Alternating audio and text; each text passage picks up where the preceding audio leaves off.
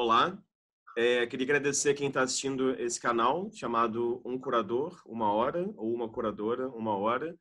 Como vocês têm acompanhado, se trata de uma série de entrevistas com diferentes curadores e curadoras, diferentes gerações diferentes lugares do Brasil também.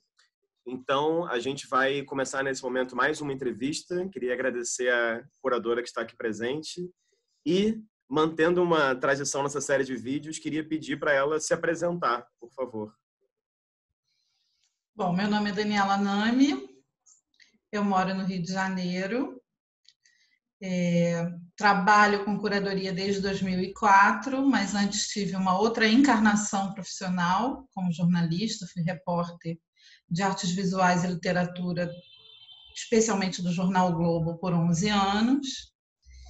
É, sou mestre em História e Crítica da Arte, doutora em Comunicação e Cultura, ambos os títulos pela UFRJ, não acho esses títulos a coisa mais importante. Acredito que a coisa mais importante é compartilhar conhecimento e fazer da curadoria uma forma de atuação no mundo. É por isso que desde 2017 eu mantenho uma plataforma que se chama Caju, com outros curadores associados.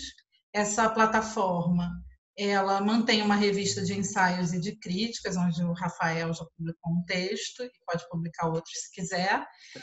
E é, também realiza projetos de, de, de, exposições, não só exposições minhas, mas de outras coisas, além da arte e de outras pessoas.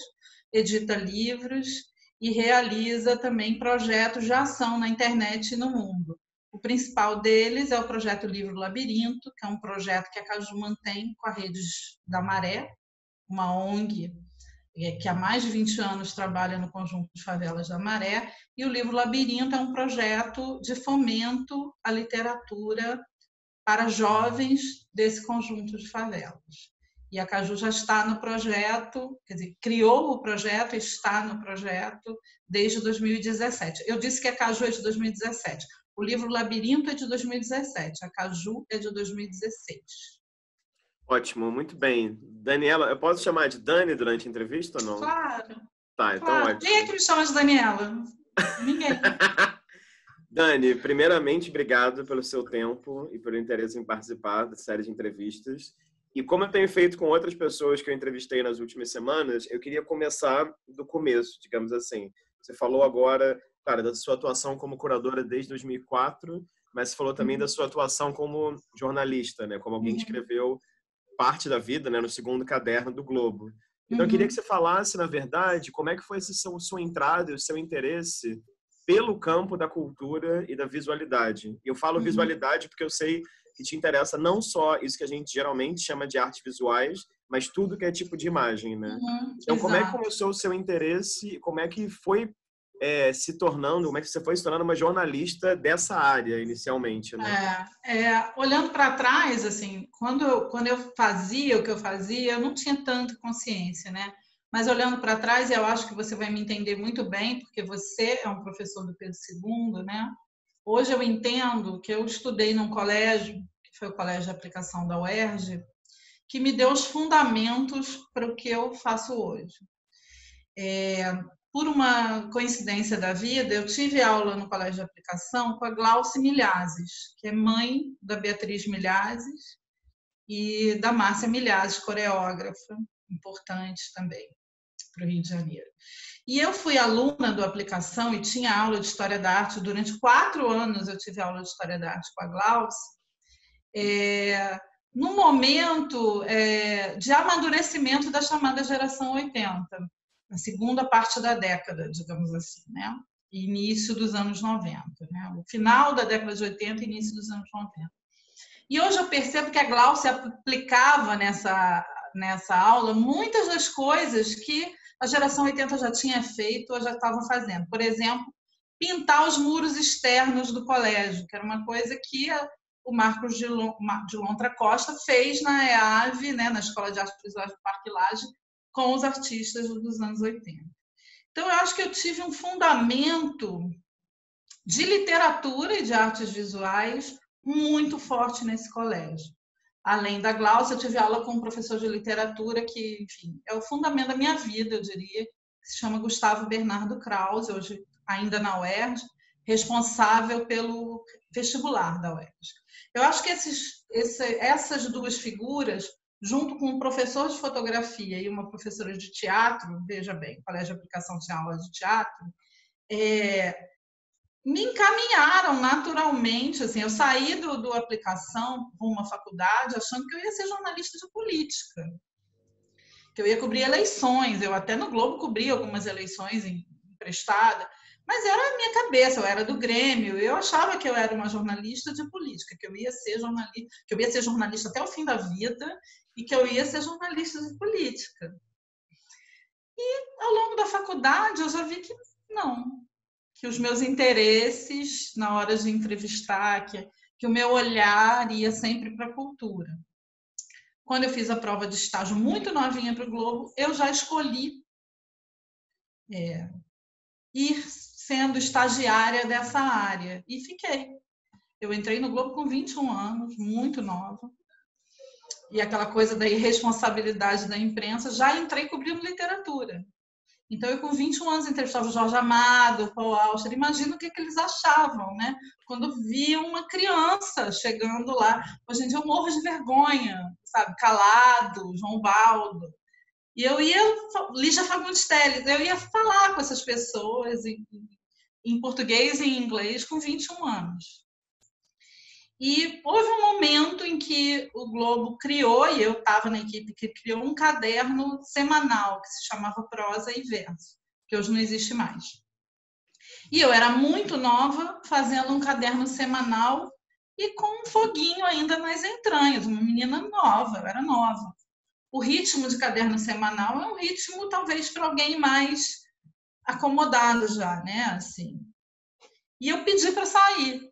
Eu falei assim, eu, eu, eu quero sair, eu, eu, eu preciso aprender com o ritmo diário. E aí me ofereceram duas coisas. Você tem duas opções. Ou você vai ser jornalista de comportamento, que significa nada, perguntar ao Gabeira por que, ele usa meia verde.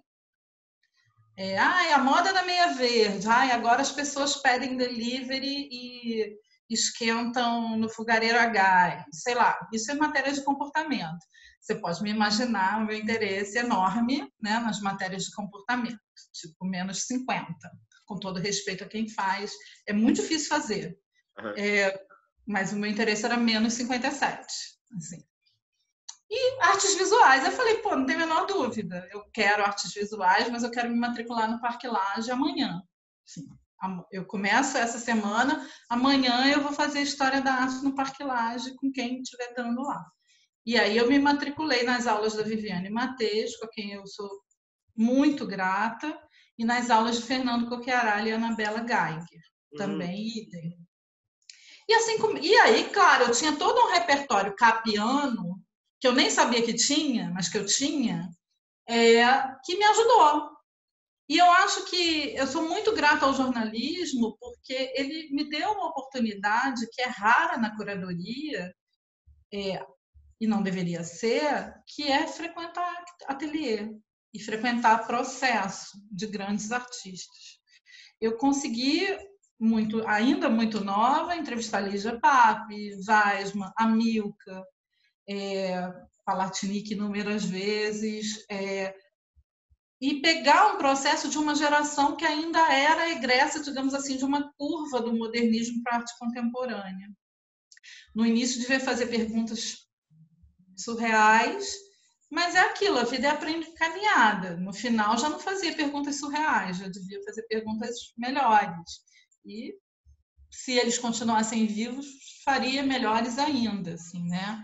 Eu acho que é, sou muito grata ao jornalismo, porque se no início ele significou para algumas pessoas do meio de arte quase uma marca escarlate, em mim, como se fosse a garota, porque na época eu era uma garota, superficial que agora vai fazer mestrado e quer ser curadora. Uhum. É, então foi muito difícil, eu enfrentei realmente bullying. É, eu acho que é preciso dizer isso. eu era egressa de, uma, de um outro lugar e eu tinha bloqueios horríveis. Até hoje, às vezes, eu me acometo desses bloqueios de texto, porque eu achava que eu não, não aquela voz não era minha, porque eu ouvi coisas, eu soube de coisas, enfim. É, era uma relação complexa com algumas pessoas. Uhum. É, com parte da academia e também com os mais jovens. É muito curioso, assim, as pessoas que tinham a minha idade ou menos. É, porque com os mais velhos, é, as portas sempre foram extremamente abertas. Eu acho que porque, depois a gente pode até voltar nesse assunto, é, é, é uma geração com outra metodologia, né? E com que, que enfrentou outras outro mundo, que enfrentou outra forma de, de aproximação e de, e de diálogo. Então, é, de início, eu tive uma porta muito mais aberta é, dos artistas situados, digamos assim, da geração 90 para cima, uhum. do que entre aqueles que eram meus contemporâneos ou mais novos que eu. E isso foi aos poucos, né, sendo uma conquista que é diária e que será o resto da vida. A gente, a gente vive num meio muito competitivo, né, e, e, e, que muitas vezes o meio e o mercado se sobrepõem de uma maneira um pouco agressiva demais. Uhum. Então, em alguns momentos, quem sofre de superficialidade não sou exatamente eu, né? Eu demorei um pouco a perceber isso, muito terapia que eu devia cobrar de algumas pessoas aí, mas é, enfim, percebi que a superficialidade não estava exatamente em mim. É, talvez estivesse até em quem me chamava de superficial, sei lá. Então, Sim. é e com o tempo, eu acho que é isso, é uma, é uma embocadura. Eu tenho muitos amigos escritores né, que, que vêm dessa época ou vêm do próprio jornalismo. Né? Quem teve que sair do jornalismo para a literatura, meu, um dos meus melhores amigos, que é o Marcelo Moutinho, fez esse caminho, também passou por um processo de adaptação de linguagem, de, de formato, que é muito claro, assim, nos três últimos livros do Marcelo, você vê, eu sou primeira leitora dos livros, muito fácil de perceber isso, como a embocadura mudou, assim, como ele deixou de explicar. É, o jornalista tem que explicar. Mas o fato do jornalista explicar não significa que ele é superficial. Significa só que ele está explicando, que ele tem aquela é, é, aquele processo de explicar, que o professor tem também, né? de criar postos para explicar, para esmiuçar. E com o tempo, a gente vai percebendo que o texto da crítica ele também tem um coeficiente de autoria que deve ser buscado e que tem um grau de opacidade, mas esse, no meu entender, esse grau de opacidade não tem que abrir mão da generosidade. Claro. É, você não precisa explicar tudo, mas você tem que, de alguma maneira, fazer com que a pessoa se interesse por aquele assunto e que ela não, não tenha medo de você e do artista que está sendo abordado ali como uma coisa impenetrável. Então, assim, é, continuo sendo grata ao jornalismo, porque mesmo que hoje meu texto seja muito diferente daquele, é, eu guardo daquele a vontade de me comunicar com as pessoas que me leem. Uhum. Porque eu acho que esse é um grande desafio para a gente, sabe, Rafa? Acho que a gente tinha que ter esse compromisso, na verdade, porque senão a gente vai se ferrar, a gente vai continuar sendo, talvez, das linguagens artísticas, a mais irrelevante Sim. Quando acontece uma crise, quando acontece um problema. Por quê? Porque a gente atinge muito pouca gente. A gente está na rotina de muito pouca gente. E isso não é culpa de A, B ou C, não convém aqui ficar falando em culpa. Mas eu acho que a gente tinha que ter um compromisso de tentar largar um pouco isso, para o nosso bem. Não porque a gente é Madre Teresa de Calcutá, sabe? Mas para o nosso bem, para o nosso bem como classe, que é outra coisa que é um problema no uhum. meio onde a gente transita, que é essa falta. Se a gente pensa no teatro, no cinema, na música, comparativamente a, a, a, ao nosso grupo, a falta de noção de classe. Uhum. Agora, né? você, falou coisa, você, falou uma coisa, interessante, foi ótimo talvez começar por aí também, sobre essa relação com o jornalismo, né? Porque na, não só na sua geração, mas a minha geração também, algumas e alguns curadores vieram de jornalismo, né? Luísa Duarte Sim. fez jornalismo, Bernardo Mosqueira fez jornalismo, então Fernanda Lopes, Gabriela Mota fez também, muita gente fez. Então, e ao mesmo tempo eu acho que essa generosidade que você falou aí é uma preocupação concordo totalmente contigo, que não é de todos os curadores, vindo, sejam os do jornalismo, sejam, sejam os que não são, não é uma preocupação uhum. geral. E me uhum. parece que isso é muito claro, não só nos seus projetos curatoriais, quanto também nos seus textos, né? E daí, eu queria só caminhar contigo, já que você falou desse seu começo, dessa mudança, digamos assim, de, de, de área no Globo e o curso Parque Laje de História da Arte, Queria falar de uma experiência curatorial sua que eu acho que certamente te marcou e que certamente me marcou também, porque eu vi essa exposição quando eu estava no, no, primeiro, segundo semestre da graduação. Ai, que medo! História Ai, da arte novinho, os novinhos, meus amigos novinhos. Que era a exposição a... Onde Está Você, Geração 80. Uhum né, que o Marcos Lontra era o curador-chefe, digamos assim, você foi, trabalhou como curadora adjunta, não foi? Adjunta. É. Então eu queria que você falasse um pouco, porque eu acho interessante perceber, se eu entendi também corretamente, como que o seu trabalho como jornalista e o contato com essa geração acaba também te levando a colaborar com a exposição e como que de certa maneira isso vai desembocar lá no seu mestrado, né, que é o geração. É, eu antes de fazer o mestrado eu ganhei uma bolsa é, da Rio Arte, infelizmente uma instituição que não existe mais, eles ofereciam bolsas de pesquisa. E eu ganhei uma bolsa que depois foi aproveitada, esse material foi aproveitado no meu mestrado, para pesquisar a geração 80. É, e por que, que eu me interessei pela geração 80? Porque me entregava como, como repórter é uma pecha que você ia falar dos anos 80 e falava, ah, não, pessoal do mercado, pessoal alienado, pessoal. Aquilo me angustiava, porque aí eu, eu cotejava o pessoal, essa, essa, esse rótulo, é aquele pessoal alienado dos anos 80. Você, você ia falar com alguns artistas mais velhos e alguns artistas mais novos. E a galera dos anos 80, da pintura, sobretudo dos anos 80, era aquela galera alienada. Aí eu ficava pensando assim, caramba, aquela garela alienada, Daniel Senise, Nuno Ramos, Ângelo Venosa, que não é pintor, Beatriz Milhares, a maior CDF do planeta, Adriana Varejão, que é mais nova, mas que, em termos conceituais, está alinhada com essa galera, e não com os anos 90, assim como Marcos Chaves é anos 90, apesar de ter começado nos anos 80, assim, né? É, eu falava, gente, como é que pode dizer que esse pessoal é fraco, né?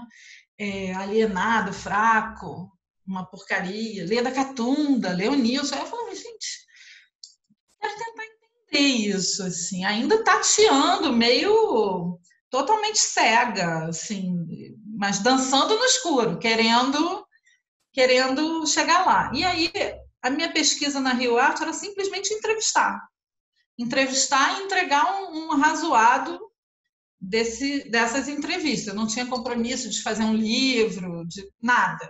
Era e eu guardei esse e com isso eu convivi com todos, comecei a entender disputas políticas desse período, convivi muito com o Marcos.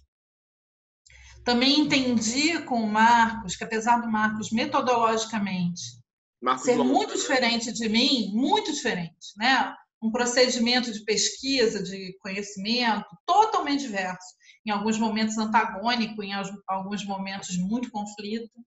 Mas eu aprendi com o Marcos que existe uma sabedoria, é, sobretudo quando ela está sentada, quando ela está serena, existe uma sabedoria imensa no realizar, no fazer, no conseguir ser antena de um determinado momento.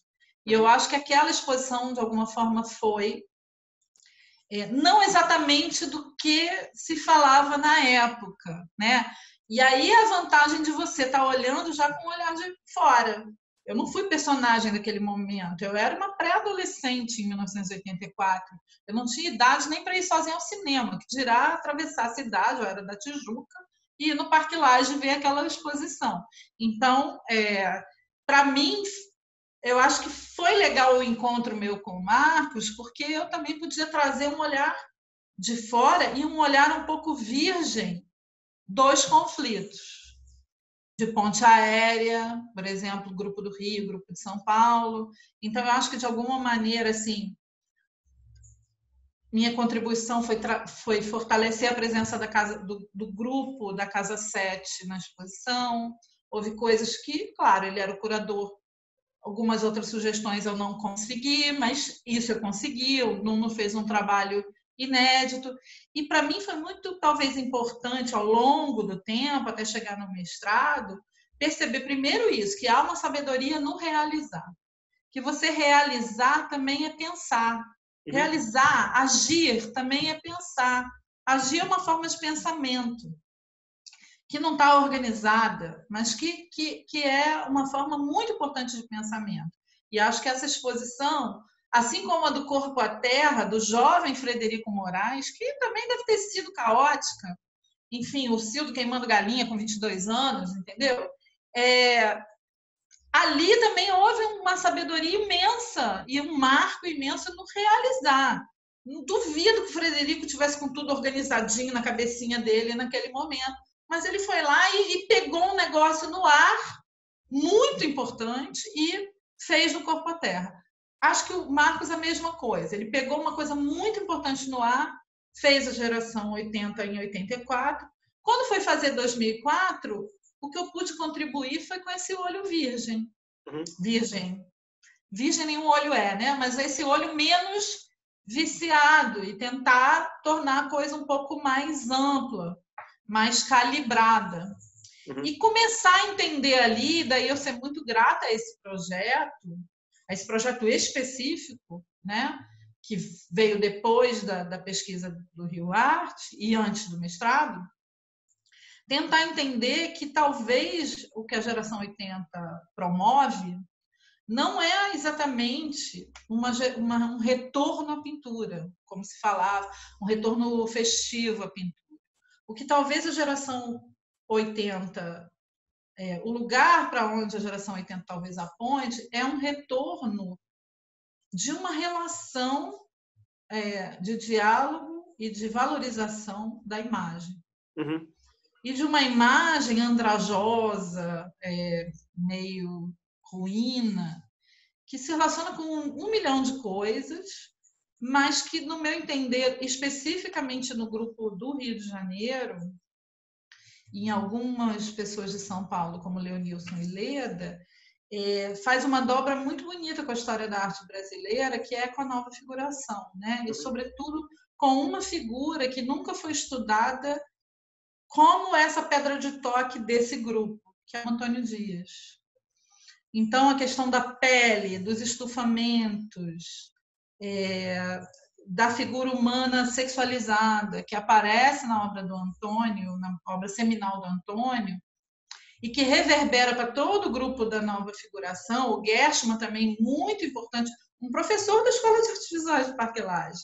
Então, assim, é, um diretor, né, professor Roberto Magalhães também com a coisa do absurdo, do nonsense. Se você pensa na Cristina Salgado, né, tá lá, tá lá o Roberto Magalhães, assim o Basbound, os olhos, está lá o Roberto Magalhães, professor dessa galera. Então, é, mais do que é, um retorno à pintura, e a gente tem artistas híbridos como Nuno, e escultores como Carlito, é, predominantemente escultores, né, como Carlito e o Ângelo, que vão ser tão importantes para essa geração quanto os pintores, é, mas só vão aparecer depois, né, vão sofrer um processo de valorização póstumo, por uma questão de modinha da época, né? mas eles têm o mesmo tipo de procedimento, de um retorno à imagem e de um retorno ao corpo. Né? Uhum. É, se a gente pensa o Ângelo e o Antônio, e a Leda numa triangulação é uma coisa muito interessante assim de da gente pensar, eu acho. Então, para mim é essa geração que não é uma geração é, da pintura, é uhum. uma geração do afeto pela imagem uhum. e de uma imagem que é narrativa, né, de si mesma e que reequaciona é, as questões políticas. Né? É como se houvesse uma, uma migração de eixo, assim, é, de política, mas é uma geração zero alienada. Ela só migra a política e começa a fazer a migração da política para algo que a gente valoriza muito hoje, para uma esfera íntima, para uma esfera de lutas locais também, de lutas pequenas mas uma são né, importantíssimas, né? Assim. A luta pela sexualidade, a luta pela afirmação feminina, a luta, luta pela afirmação do corpo, meu corpo, minhas regras. Tá tudo já na geração 80. Isso é política. É, e isso encontra. É, você, essa política só sai de uma esfera macro, bipolarizada, é, que era a questão dos anos 70, né? E, e, e deixa de pôr a imagem em xeque, xeque-mate jamais, nunca aconteceu, mas deixa de pôr a imagem em xeque para dizer, não, quero essa imagem para mim, né? Mesmo que ela esteja assim em frangalhos, eu quero trabalhar com ela, eu quero dar um jeitinho aqui nessa ruína, quero nesses fantasmas, quero bater um papo com esses fantasmas, né? Tem um texto que eu faço sobre o Daniel que eu uso Hamlet justamente, né? Que é, é isso, é é delírio? É imaginação? É sonho ou é realmente mediunidade? O fato é que Hamlet está disposto a conversar com o fantasma do pai. E é isso que essa geração faz, de alguma forma. Agora, deixa eu. Eu ia, ia falar um pouco. Viajei, acho que eu não respondi essa não, pergunta. Não, não, né? falou super bem, viajou nada. E também a, a conversa é para ser uma viagem. Você falou do, da geração de afetos, falou do mestrado. Eu ia falar uma coisa sobre os seus textos, mas acho que eu vou seguir nesse campo tá. das exposições primeiro. Essa exposição, então, foi a primeira exposição na qual você participou diretamente na curadoria, Sim. certo? Sim. E minha questão, então, seria: de que maneira essa experiência desemboca nas outras? Eu sei que essa é uma pergunta absurda e enorme, mas eu estou perguntando isso por quê? Porque me chama muito atenção na sua trajetória, primeiro ver que você tem algumas, várias exposições coletivas, né? e exposições que eu visitei, algumas delas, como Mapas Invisíveis, Jogos de Guerra, ficções.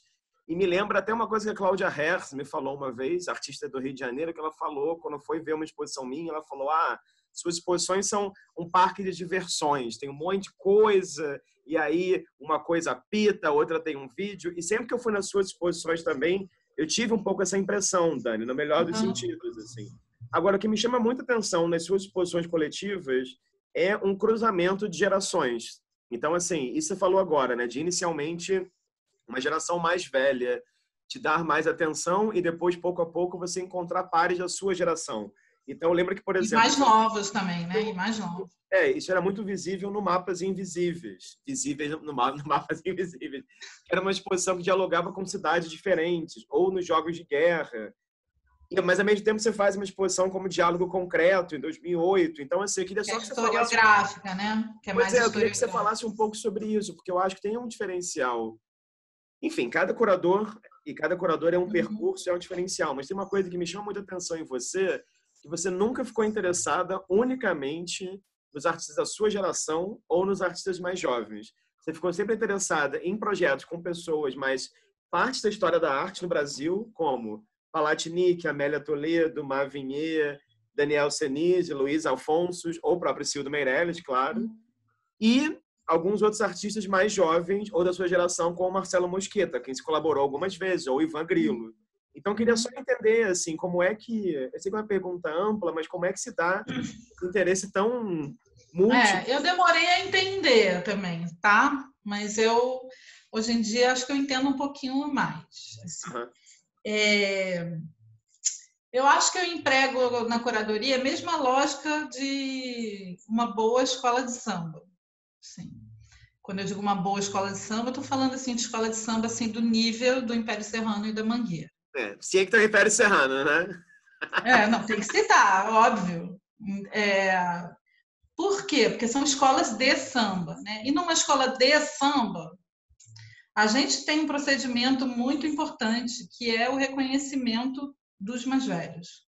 O reconhecimento, por exemplo, se a gente pensa na Tereza Cristina, hoje, rainha das lives e tal, apesar dela ser portelense, porque é uma escola muito importante também, enfim, não vou falar, mas muito importante, eu duvido que a Tereza pense em acordar de manhã e não pense que ela é tributária de Dona Ivone Lara ou do monarco, enfim, tô, tô, citei uma mulher por, por uma questão de Teresa ser mulher e, e existir toda uma dificuldade agregada em ser mulher no Brasil, né?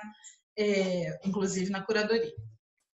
É, mas, então eu acho que o meu interesse por esses mais velhos, sobretudo os mais velhos mesmo, tipo a Amélia, tipo Palatinique, o Luiz Alfonso eu acho um cara ainda super ativo e jovial, mas é um, um artista de uma, de uma geração é, muito proeminente pelo temperamento dele. Ele foi menos estudado, né? uma pessoa mais tímida. Então eu tenho um interesse muito grande de fazer, de olhar para as margens. Uhum. E de então as os meus projetos monográficos até agora, e, e eu espero que aconteçam outros, tem muitas ideias guardadas, eles foram um esforço grande, tirando as interlocuções é, de individuais que às vezes partiram de um convite do artista, como artistas que já conviveram comigo. Você citou o Daniel Senise, o Ângelo Venosa, é, o Grilo, o Mosqueta, pessoas de gerações, a Eloá Carvalho, com quem eu trabalhei algumas vezes em galerias, ainda não tivemos a oportunidade de fazer uma exposição é, institucional, mas enfim, às vezes a, a exposição monográfica é um convite que vem do artista e não um projeto imaginado por você, né? Mas os projetos que eu imaginei, e aí é, a gente pode ficar em dois, Amélia, com quem que eu acabei dividindo com o Marcos, por uma série de circunstâncias que tem a ver com o prêmio Marco Antônio Vilaça, que eu fazia na época e tal. E uma vinha que eu fiz sozinha, o Luiz Alfonso é um terceiro exemplo. É, foi uma tentativa de olhar para um determinado artista, de uma determinada geração ou de um determinado grupo, que talvez estivesse, no meu entender, sendo menos olhado do que deveria. É, se a gente pensa no grupo ao qual o Luiz Alfonso faz parte, a gente tem o Cildo, a gente tem o Barrio, a gente tem o Antônio Manuel, a gente tem a Elliot Sica. E a gente tem uma artista mulher, que aí eu posso dizer, é um. Espero conseguir um dia fazer um projeto com ela, que é a Tereza Simões. É, Tereza, então, realmente não é vista. Tem um manto de invisibilidade em cima dessa artista tão importante. E Luiz era pouco enxergado como que ele é, um pioneiro da fotografia no Brasil e especificamente do cruzamento entre fotografia e land art, o que a gente entende como land art, mas que no Brasil tem outros contornos, enfim. Mas é isso, o Luiz é um artista importantíssimo para os anos 70. E fiz o projeto que eu consegui fazer, é, com muita generosidade da equipe do, do BNDES, mas acho que ainda tem muito a se cavar em Luiz Alfonso. A gente faz, às vezes, o projeto que o Brasil dá condições para a gente fazer. Sim. Mas ainda muito a se cavar, sabe? É, Amélia, acho que o projeto foi teve mais fôlego, mas ainda assim tem muito o que se cavar sobre a América. É, e por aí vai. Acho que em cada geração a gente encontraria é, esses nomes, porque, é, sobretudo nesse momento em que tudo é muito permeado pelas redes sociais, tem um, tem um algoritmo mental também nas operações que a gente faz, de cair sempre nos mesmos nomes. É, e eu acho que o esforço é, tá, inclusive nas coletivas, também é bagunçar um pouco isso.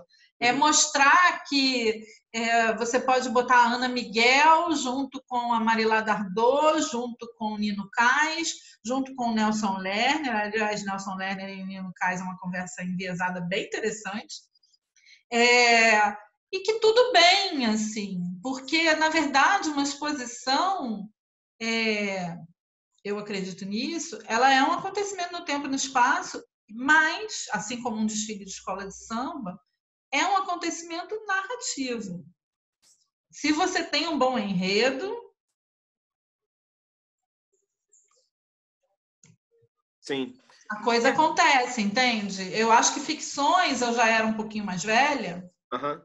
Eu, eu, adoro diálogo concreto também, acho porque, mas é outra coisa. Uma exposição histórica, baseada numa pesquisa, é outra coisa. A solidez se dá de uma maneira muito natural pela história.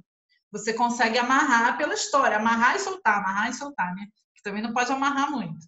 Tem que amarrar e soltar, amarrar e soltar. Deixar espaço para a galera que vai entrar na exposição para pensar alguma coisa. Não pode ser muito amarradão, muito explicadinho, né? Tem que uhum. deixar uns.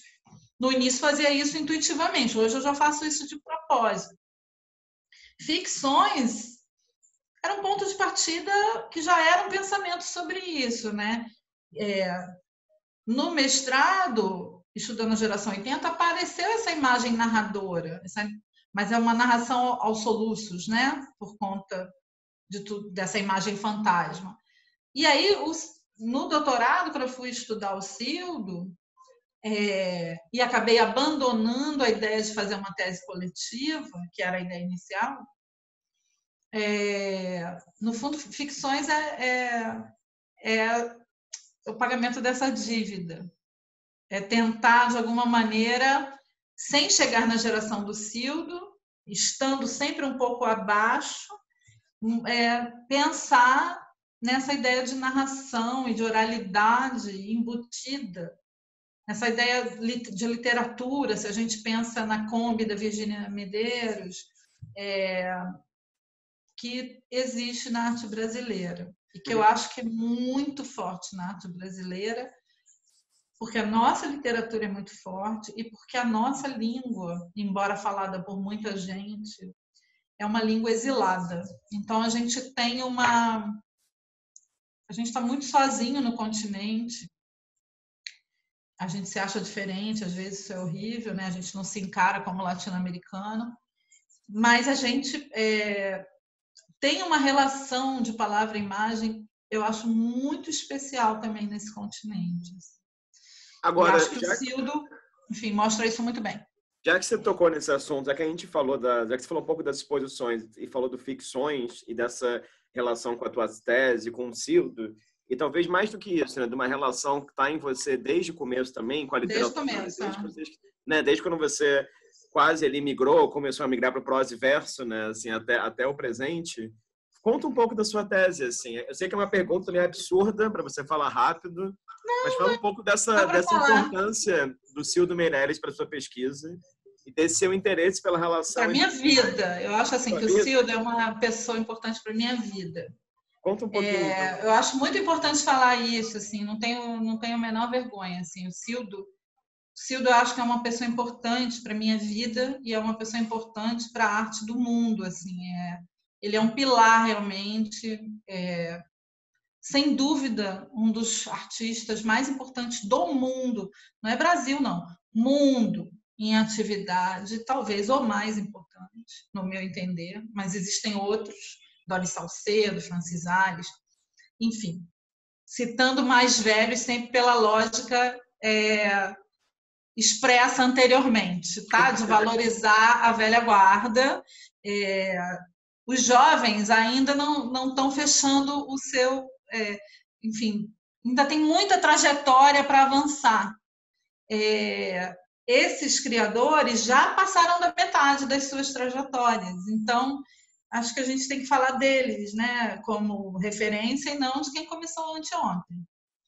É, mas o Cildo, essa figura importantérrima, é, primeiro é um exercício de é uma lição de generosidade e de franqueza e de coerência com o próprio trabalho, de um rigor gentil, que eu acho que é o que a gente deveria perseguir. Rigor, sim, mas com gentileza, com abertura, com vontade de estar junto, né? É, é, é essa, esse é o, é o funcionamento do ciclo. E, mais uma vez, o que começou a me angustiar, à medida que eu conhecia cada vez mais o trabalho do Cildo, é essa coisa assim, ah, o Cildo, um dos maiores nomes da arte conceitual, o Cildo, um dos maiores nomes da arte conceitual, Cildo, um dos maiores nomes da arte conceitual. Eu falava, gente, tem muito mais caroço embaixo desse angu. E do mesmo modo essa situação, ah, é a obra política, política no sentido é, uhum. clássico, né, no combate à ditadura e tal.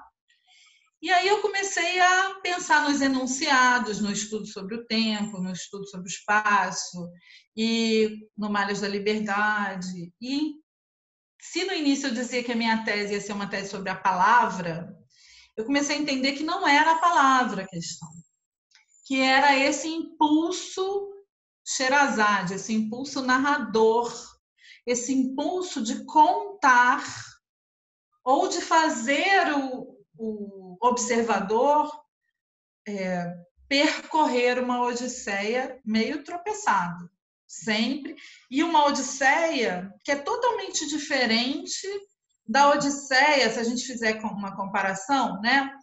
É, por exemplo, se a gente pensa no livro da criação da Lígia Pape, uma artista 50, 60. E se a gente pensa no livro de carne do Barrio, é outra coisa. Se a gente pensa no Magic Square do Elliot Sica, maravilhoso.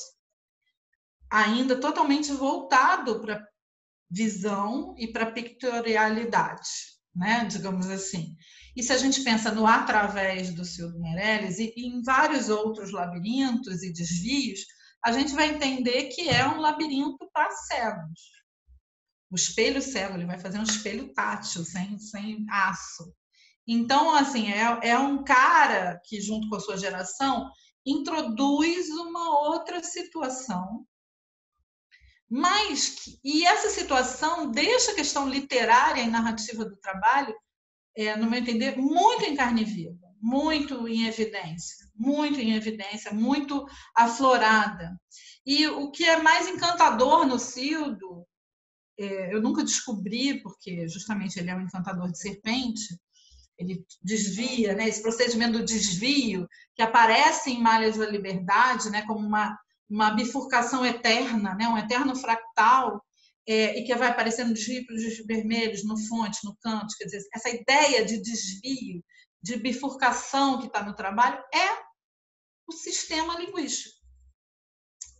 A nossa língua é, uma, é um sistema de bifurcações, né? E o trabalho do Cildo está grudado nisso. Isso é um dos aspectos muito importantes. É, além de abrir para mil outras coisas, que se eu conseguir, eu, eu falo, só vou terminar essa ideia. E aí eu, enfim, resolvi me agarrar a essa questão da narrativa e desenvolver um trabalho que são quatro longos capítulos. Depois de muitas disputas políticas, eu consegui fazer uma tese sem nenhuma citação, assim, em bife. É uma tese que também é um fluxo, é, eu respeitei, claro, a ABNT, né, três linhas e meia. Então, por exemplo, nas duas únicas, é uma tese que eu considero muito benjaminiana, mas eu cito Benja, Walter Benjamin duas vezes. Uhum. Nas duas vezes que eu citei o Walter Benjamin, é, ele está em três linhas e meia, para ele poder caber é, na norma da ABNT dentro do meu texto. Todas as entrevistas do Cildo estão em três linhas e meia. Assim para poder caber e para poder fazer tudo só em notas de rodapé, né? Todas as observações. É, e aí foi o grande aprendizado de um novo texto, de, de, como fazer um novo texto, né? Foi essa tese. E aí eu divido em quatro capítulos. E ao longo dessa questão, começo com através. Sempre tem uma obra, a dissertação de mestrado eu fiz igual.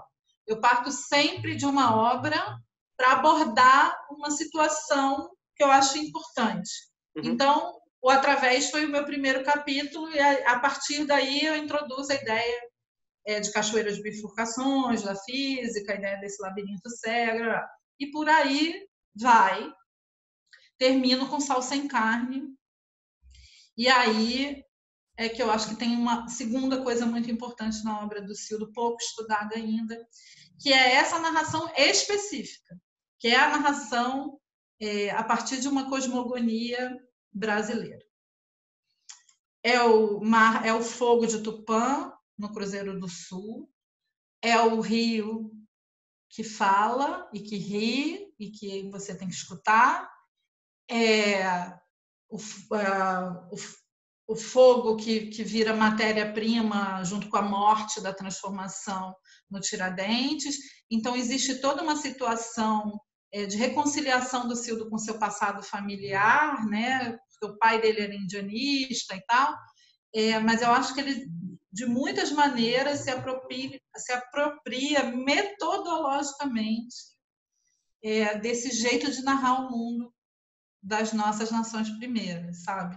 Uhum. E se, se, utiliza é, disso até mesmo nas entrevistas. Porque você pergunta para ele assim, Cildo, mas então você acha que aqui o seu trabalho Y tem a ver com Robert Morris? Aí ele vai, te, ele vai desviar. Ele vai dizer, não, você sabe que eu fiz teste para ser, gandu, é, ser jogador de futebol? Eu fiz teste no Flamengo e no Cruzeiro e tal.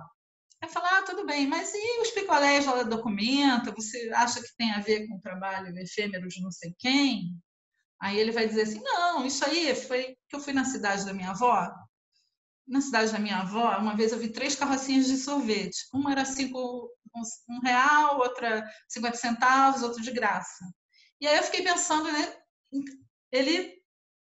E aí eu acho que isso também é uma estratégia lindíssima de não dizer não para a pergunta uhum. e de não permitir que nenhum crítico, nenhum, ele não proíbe texto nenhum, mas que nenhum crítico aprisione o trabalho. Sim. Sim. É, ele, a partir de uma fala dele. A pessoa pode escrever o que ela quiser, mas assim, a partir de uma fala dele, não haverá nunca um indício dizendo, não, eu sou um artista do XPTO e me relaciono muito com o Coca-Cola do Bubu.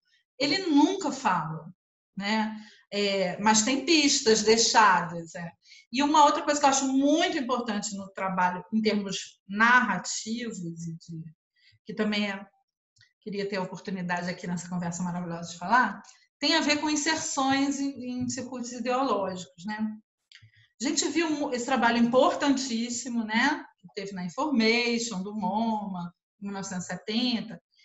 Ele muitas vezes figura em exposições coletivas de handmade, e muitas vezes já figurou como escultura, as garrafas como esculturas é, em exposições panorâmicas de escultura. Bem, no meu entender, nenhuma coisa nem outra. É, nem é um handmade, porque a garrafa não é o trabalho. O trabalho é a mensagem impressa na garrafa, que posta em circuito. Então, aquela garrafa, o próprio Cildo, quando ele empresta, ele nunca vendeu né, essa garrafa, porque ele não considera trabalho. E ele manda para o MoMA, ele vai chamar de examples. Quer dizer, é um vestígio, é um, é um registro do trabalho. É, mas eu acho que é importante a gente falar, com, tentando abrir um debate com quem também estuda o Cildo, que é muito interessante, porque talvez a gente tenha essa síndrome de vira-lata de achar que a gente está sempre a reboque da história da arte europeia, né? Então, muitos textos falam, ah, sim, do tributário de Duchamp nesse trabalho. Sinceramente, acho que não. Acho que o Cilto, claro, está dialogando com o Duchamp porque ele não é bobo. Ele é uma pessoa estudada e é uma pessoa que lê muito literatura latino-americana também, Borges, Bioy Casares. Então, ele também está tributário dessa gente toda o tempo todo, Guimarães Rosa. Mas é, eu acho que ele faz uma cambalhota maravilhosa no Duchamp, que poucos artistas fizeram. É, talvez, assim, de cabeça não consigo citar um trabalho que faça isso tão perfeitamente. Porque qual é a questão do, do Chan? Ele pega lá o urinol, importantíssima, tira da sua função, vira de cabeça para baixo, nomeia e leva para o museu. A partir daquele momento, o urinol deixa de ser urinol, passa a ser obra de arte, perde sua funcionalidade como urinol. É, vira ficção, deixa de ser realidade, deixa de ser real para ser ficção, né? É, o que, que o Cildo faz que é muito uau, né? Continua sendo real e, e será ficção a partir de, de a garrafa de Coca-Cola em circulação, a nota de dinheiro em circulação, ela é real, ela é não ficção, vamos dizer assim, para não usar a palavra real, e os psicanalistas não ficarem nervosos.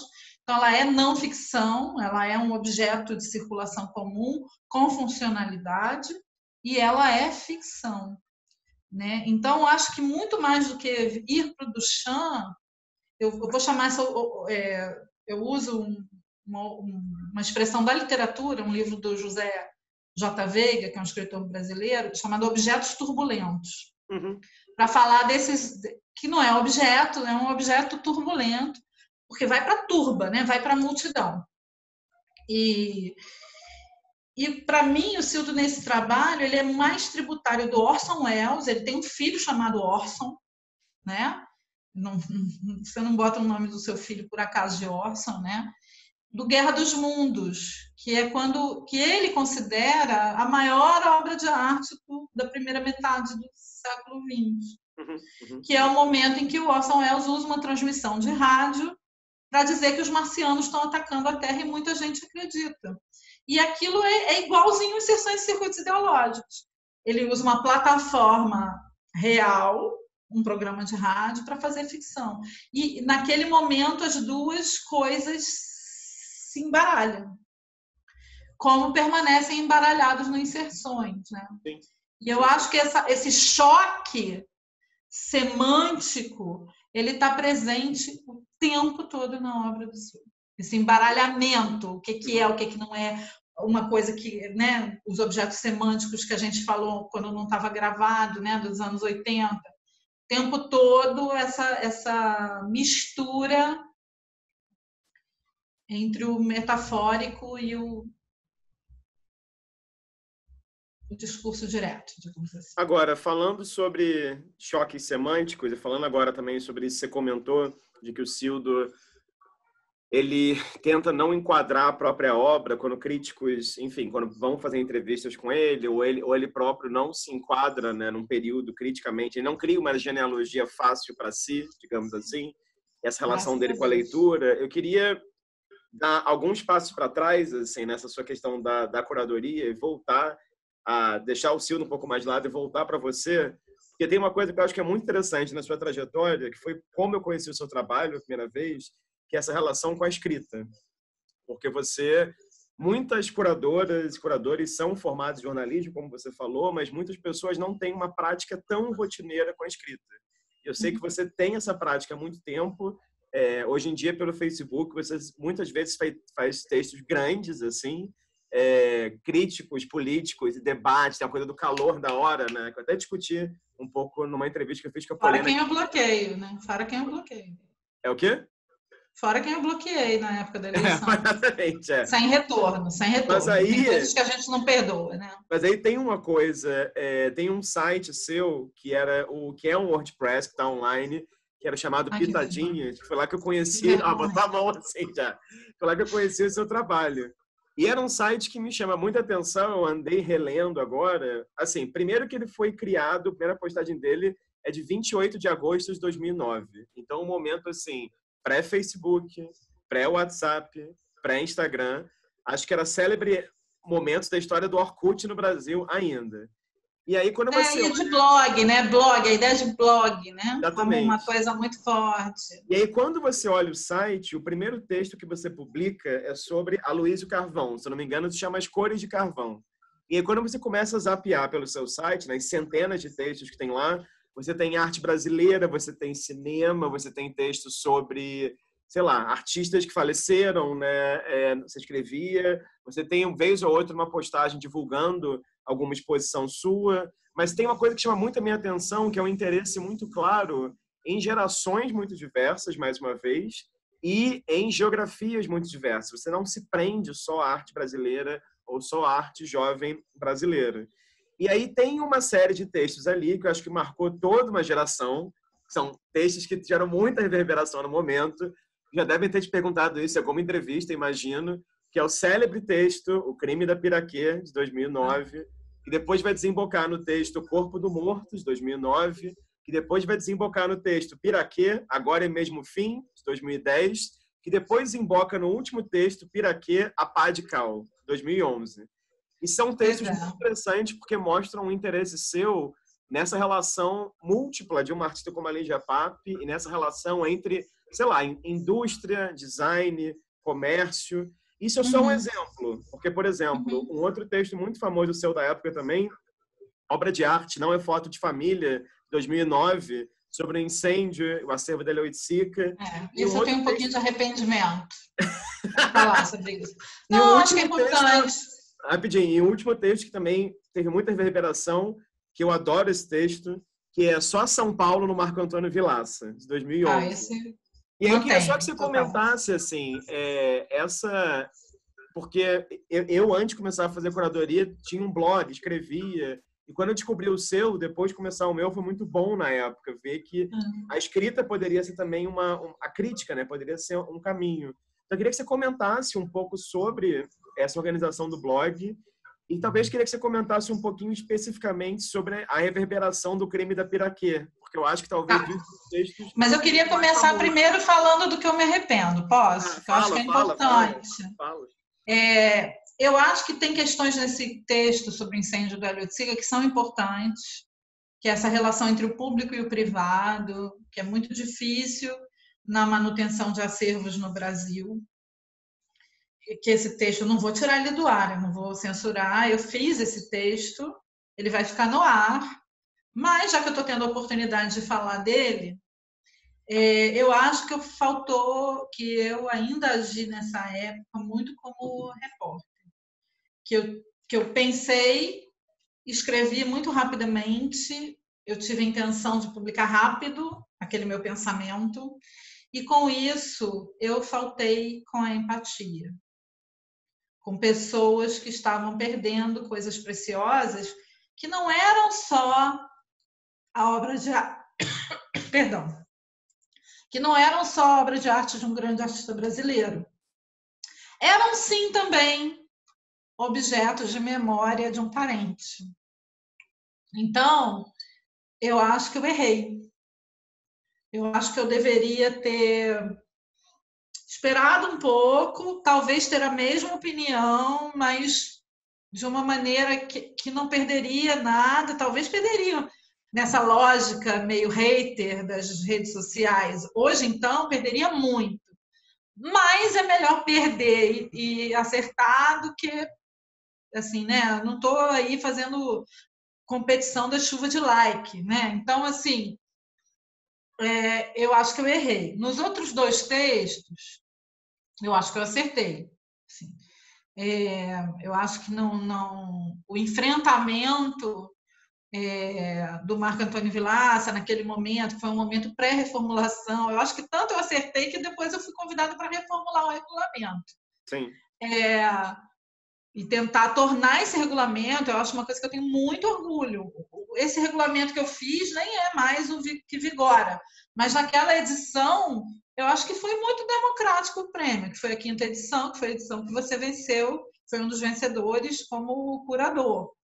Então, assim, acho que tanto era uma coisa que foi procedente, a crítica foi talvez numa medida correta, sem medo, né? Coragem é meu nome do meio, não tenho medo. Mas com empatia, assim, sem ofender, eu não ofendi ninguém, assim. Eu simplesmente falei o que eu pensava. Do mesmo modo, com a Piraquê, é, não é um post pessoal e que falha na empatia.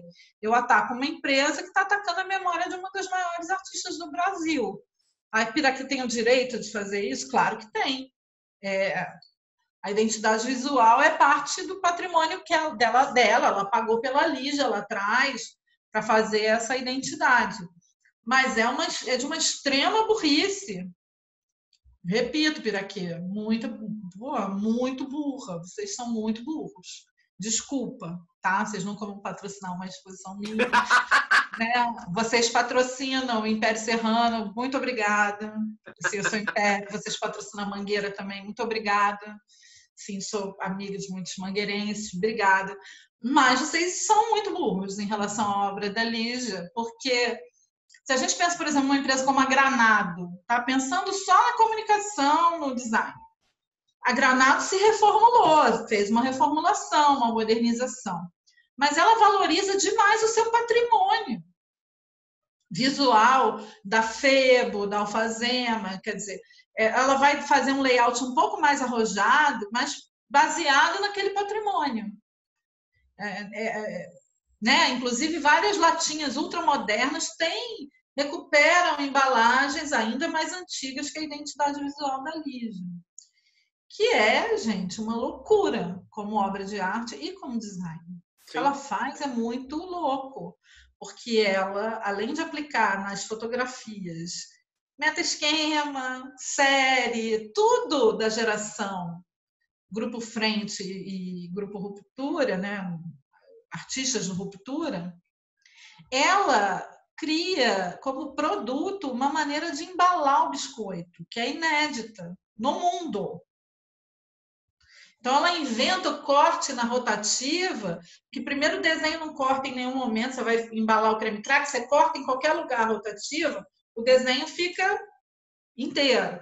E segundo, você embala com aquela cola, que na, na nossa época, você também pegou assim, quebrava o biscoito, que não dava, hoje em dia tem o fiozinho vermelho. Olha aí, uma inovação legal. Isso aí é legal. Tem que botar o fiozinho vermelho que abre a embalagem. Na época tinha que abrir a cola assim, quebrava os cinco primeiros biscoitos. Um horror, um desperdício. Então, assim, não é que não tem que ter inovação.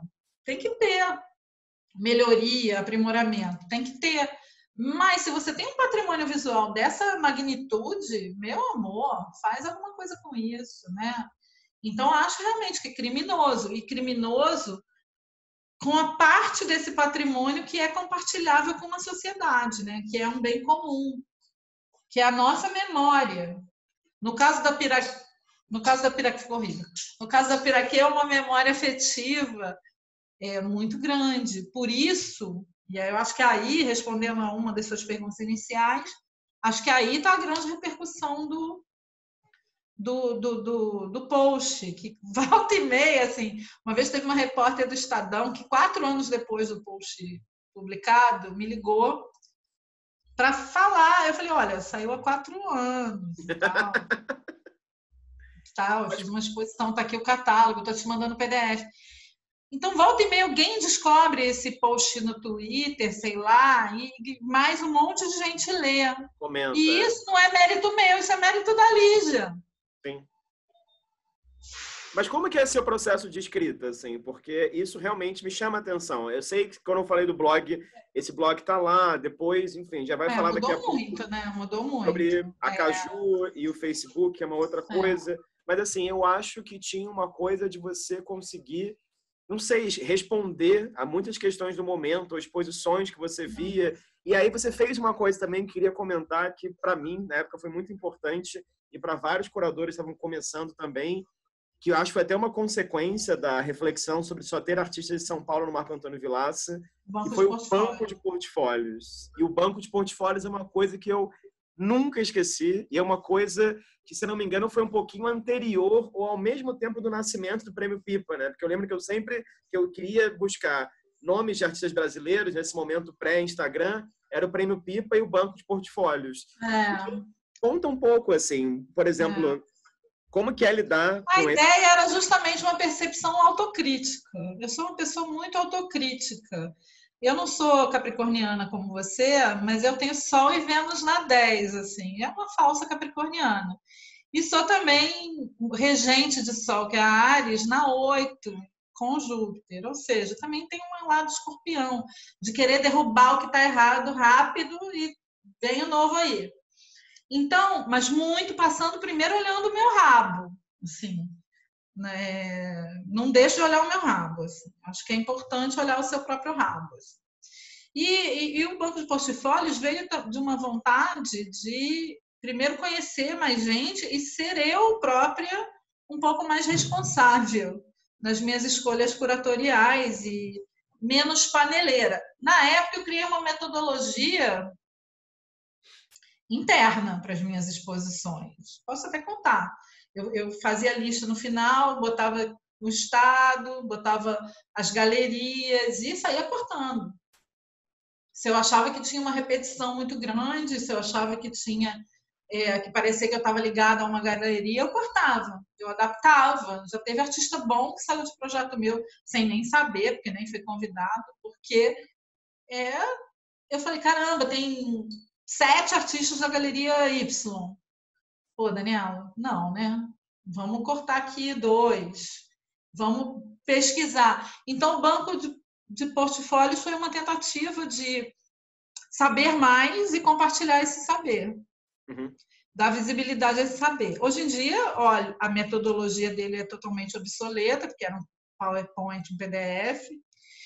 É, e a Caju, no momento, não tem grana para fazer isso como o Pipa faz, embora o Pipa também peça ao próprio artista para fazer, né? Meio, mais ou menos. Mas tem um processo ali de edição que é, que, que é muito trabalhoso, que a Caju ainda não tem condições de fazer. Mas é uma ideia que eu nunca abandonei. Eu acho que é muito importante.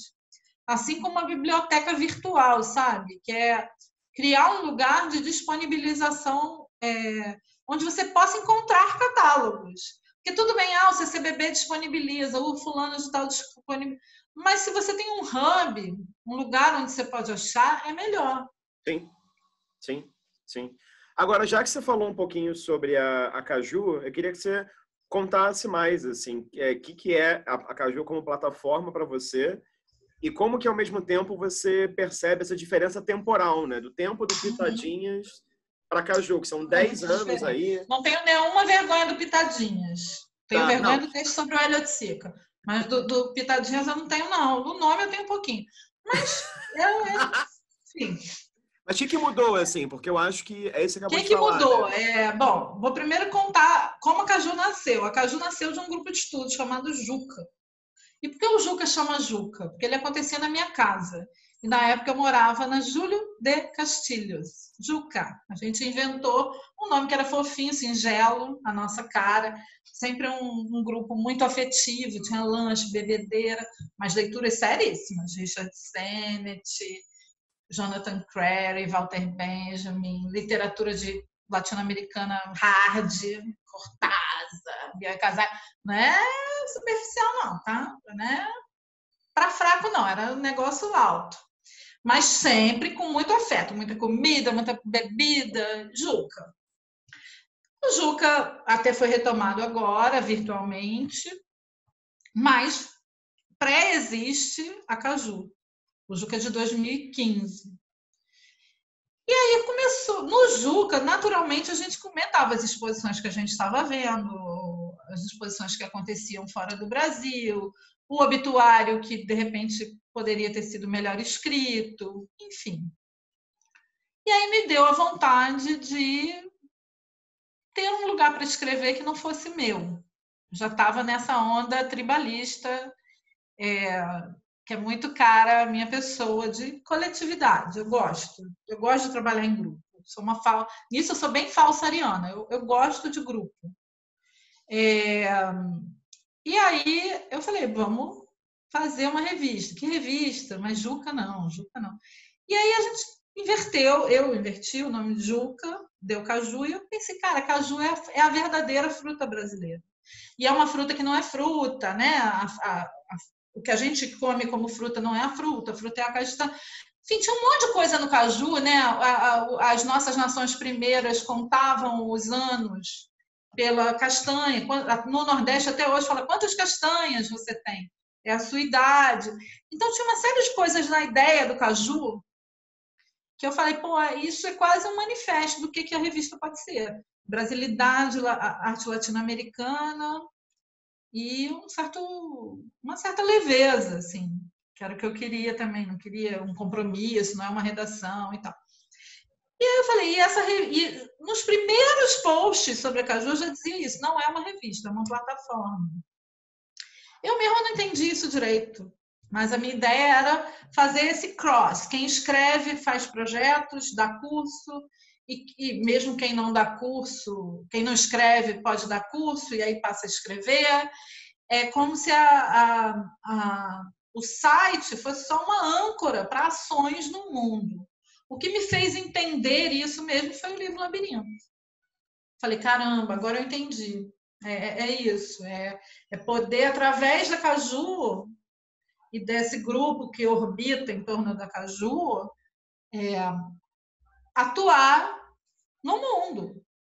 É, para falar sobre o mundo, para pensar o mundo, para discutir o mundo, mas também para tentar modificar o mundo, mesmo que seja levar um livrinho novo para um cara que nunca teve um livro. Mas como é que é esse projeto? Conta mais também. Esse projeto é, também caiu no meu colo, assim, assim, sempre eu sou uma das minhas melhores amigas é a Adriana Pavlova, que é crítica de dança, é, foi repórter comigo no Globo na mesma época, escrevendo sobre dança. E ela sempre atuou na Maré por conta de Lia Rodrigues, companhia de dança. A pesquisa dela é sobre Lia, agora ela já está no doutorado, mas o mestrado foi, o doutorado foi. E mesmo quando pré-existia ao mestrado, a pesquisa dela era sobre Lia. E aí ela passou a trabalhar como voluntária na Maré e eu sempre ia, dava uma palestra, fazia uma aula de história da arte e falava assim: um dia vai aparecer a coisa. Eu adoro essa rede da Maré. Um dia vai aparecer a coisa que eu vou achar que eu posso contribuir de verdade. Que eu, que eu... Me chamavam, eu ia lá. Ali estreava um espetáculo, eu ia ver mas ainda não tinha tido aquele chamado, né? Aquela coisa. Até que a Adriana postou um flyer feinho, assim, é, sobre livros para o pré-vestibular, para os pré-vestibulandos fazerem o pré-vestibular da UERJ. E eu falei, pô, vou compartilhar isso aqui, vou oferecer minha casa para as pessoas entregarem e eu levo na maré. E aí, era um ano de bonança, outro momento do Brasil, outro governo, né?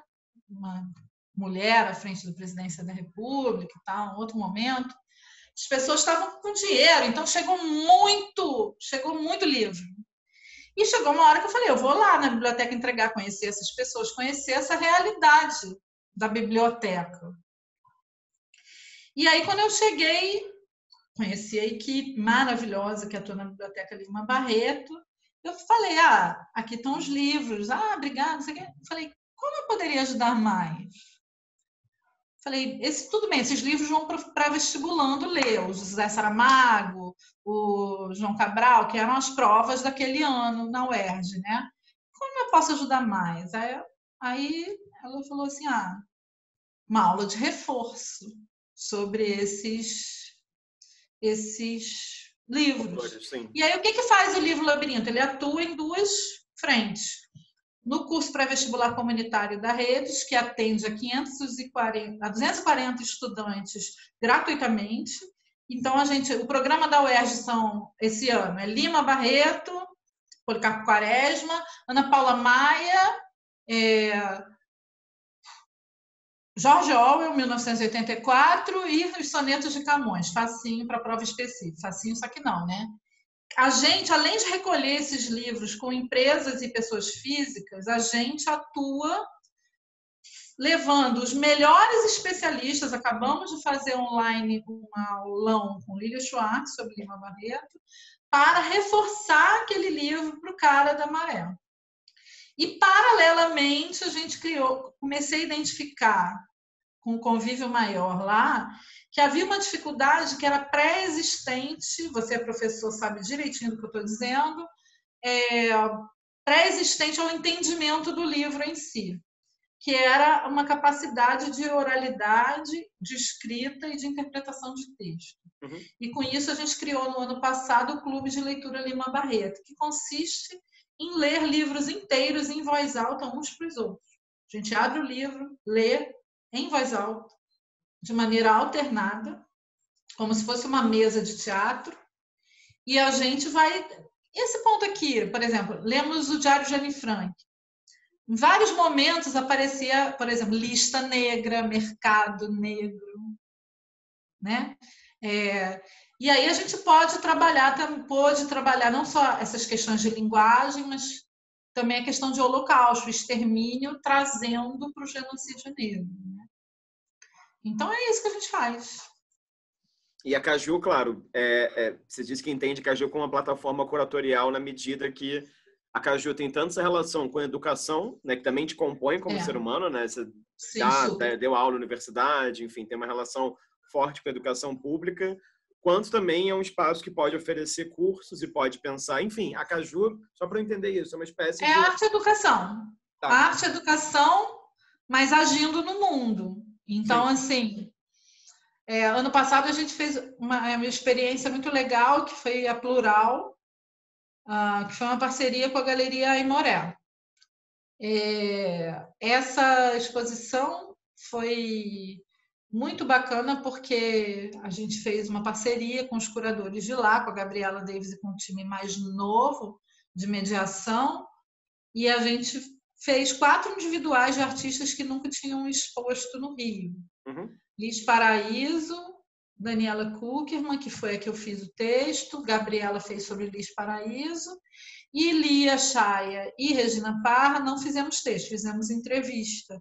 Para não ficar, Daniela, aquela onipresença de duas curadoras, a gente achou que seria antipático, né? E também para fazer direito.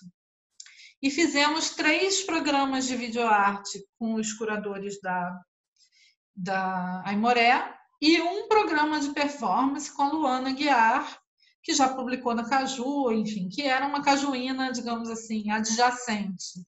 Então, isso é uma maneira, e ali a gente não verbalizou isso, mas era uma exposição só de artistas mulheres. Isso não era um programa expresso nos textos, mas era o que acontecia. Sim. Mulheres cis e trans, só mulheres. É, e, e, isso foi uma maneira de trazer um pensamento que atravessa a revista, a gente tem uma parceria com Na Pupila, que atualiza o Wikipedia é, para incluir artistas mulheres. Então, isso é um conceito editorial da revista, é, mas não é a revista que está atuando no mundo.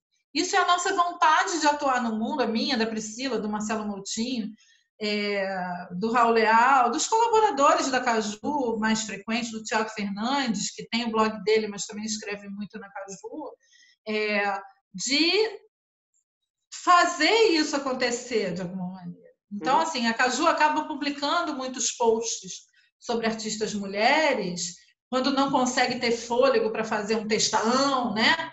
Porque eu sou a pessoa do textão. Então, hoje em dia, eu demoro mais a fazer texto do que eu fazia na época do blog. Porque eu fiquei mais exigente, porque eu quero que o texto tenha mais desdobramento. Então, eu publico muito menos uhum. como texto, na home. Mas eu estou todo dia atualizando o Instagram da revista. A lógica mudou, Sim. né? E a gente faz também séries colaborativas de postzinhos no Instagram.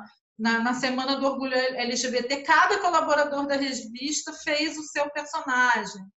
Então, assim, o que a Pitadinhas fazia toda hora, como texto, porque não tinha rede social, hoje a rede social absorveu.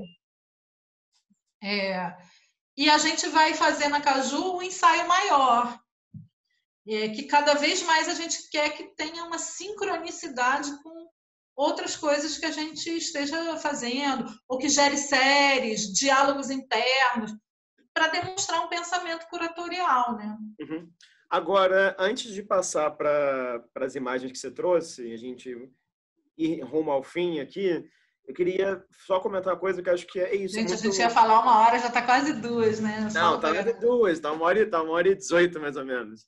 É, é acho interessante a sua trajetória pensar, né? tem essa relação com a crítica, com a escrita, tem essa relação com fazer exposições, tem uma relação com a pesquisa, digamos assim. Uhum. E agora você falou desse projeto com, com a Maré. E eu queria só te fazer uma pergunta que me veio aqui na cabeça. Se você considera, então, que toda curadora é uma educadora também. É, não sei se toda é, mas deveria ser. É, e eu acho assim, é, o curador, o estar curador, é uma circunstância, né? Eu acho, no fundo, que eu sou crítica de arte e educadora.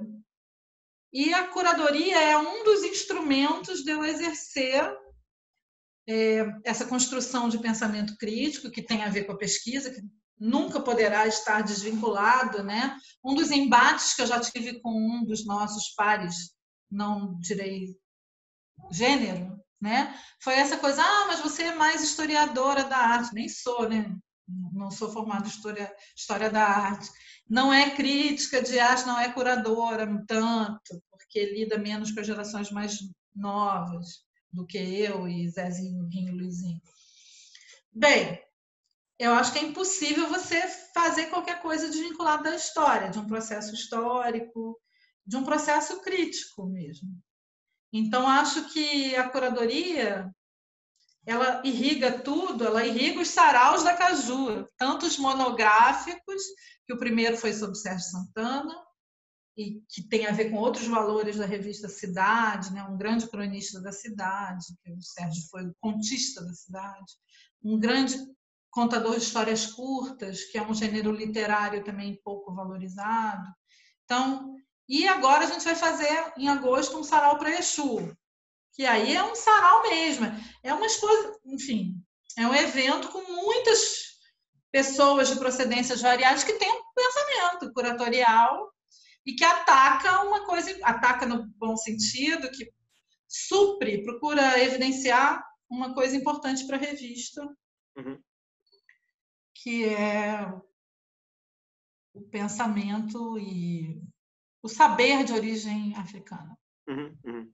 Bom, vou partir aqui para as imagens que você trouxe. Esse é o momento que eu sempre fico curioso de ver se o computador vai travar ou não. Foi. É, foi. Bom, você Só trouxe três imagens. Apareceu. Ah, tá. Ótimo. Você trouxe três imagens, né, Dani? Você quer três falar imagens. um pouquinho sobre cada uma? Então, eu tenho feito uma pesquisa que talvez vire um pós-doutorado, sempre com a ideia de narração embutida, né? É, acho que a gente tem sempre gavetas de pesquisa. Eu continuo pesquisando a geração do Cildo, claro. Nunca deixarei de pesquisar os anos 80, né? Não, não encerra. Mas é, eu comecei a notar que o carnaval, enfim, faz muito parte da minha vida. E que existe um grupo de carnavalescos mais jovens, do qual o Leandro Vieira, e a gente tem, a gente vê o Cristo, a alegoria de Cristo favelado, baleado pela polícia, né? É, no desfile da Mangueira desse ano, sobre Jesus Cristo. O Leandro é talvez a, o personagem mais exuberante, mais claramente identificável de uma geração de carnavalescos que não é a geração da política. Eu talvez esteja com o mesmo incômodo discursivo que eu tinha na geração 80. Ah, é o pessoal que gosta da política. Ah, é uma geração de carnavalescos que quer falar de política. Não é isso para mim. Para mim, é uma geração de carnavalescos que recuperou um quesito do carnaval que estava há muito tempo esquecido, que se chama enredo, que é a capacidade de se contar histórias através da imagem. E aí, o que, que acontece nessa geração do Leandro, que está desde 2016 na Mangueira, com o enredo sobre Maria Bethânia, depois fez 2017 um enredo sobre religião e sincretismo, na verdade. 2018 com dinheiro sem dinheiro eu brinco, reagindo ao Crivella, ao corte de verbas. 2019 o enredo História para Ninar Gente Grande, que ficou conhecido como o enredo da Marielle, mas não era isso, era um enredo, no meu entender, em resposta à escola sem partido, né? e, a, e a, as narrativas marginais da nossa história, e o Jesus desse ano, uma disputa clara, né, narrativa, com o poder é, pentecostal, uhum. tentando disputar essa figura tão importante no Ocidente. Ah, colonial, não, isso é uma discussão procedente, mas sem dúvida essa é uma figura que deve ser disputada né, como, como discurso, porque talvez, talvez não seja nada seja mais importante do que disputar Jesus para o campo progressista, né? E isso a Mangueira faz e faz no plano narrativo, mas faz com uma capacidade de gerar riqueza audiovisual é, para uma multidão. Então, eu comecei a, a, pesquisar nos últimos anos essa geração, que é, consiste em Leandro Vieira, é, Mangueira Império Serrano em 2021, se houver Carnaval 2021.